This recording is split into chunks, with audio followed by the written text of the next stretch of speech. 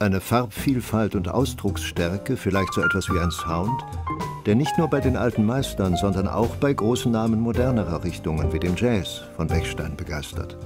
Ein Genre, dessen Musiker wie keine anderen mit ihrem eigenen Sound in Verbindung gebracht werden. Duke Ellington, Dave Brubeck, Chick Corea, Chai Coltrane bei historischen Konzerten. Jüngere Stars wie der Däne Morten Schanz und seine Gruppe, die ihr Land inzwischen auf vielen Festivals in aller Welt repräsentieren durften.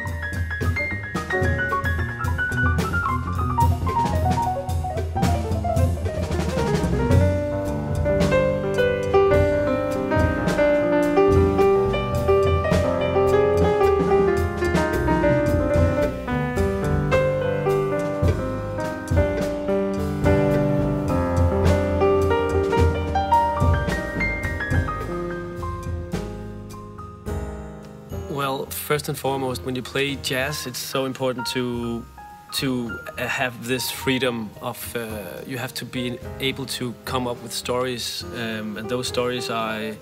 sometimes they they appear uh, when you're on stage, when you're communicating musically with your with your colleagues on stage, and you also need precision. So it's uh, it's a very it's very um, important to have a, an instrument that can kind of help you getting the precision, but also adding something different to your play that you didn't you didn't know that you had. When playing this Bechstein, I definitely feel like this is helping uh, me coming up with ideas and feeding me when when you know when I'm when I'm lost and and it uh, it's something that can you know it feels just nice to be playing this kind of dark sounding piano and and it has its own character and it's uh, really hard to tell why it has it but it just it feels good in my fingers.